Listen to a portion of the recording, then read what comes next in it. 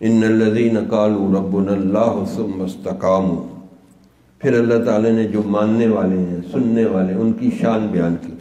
बेशक जिन्होंने कहा, अल्लाह हमारा रब है सुम मस्तकाम फिर इस पर डट बस, अल्लाह हमारा रब है।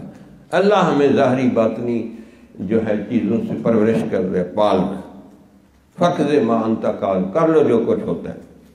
हम अल्लाह को रब मान लिए और बस, हम इस पर डट गए। किससे मांगे? कहाँ जाए? किससे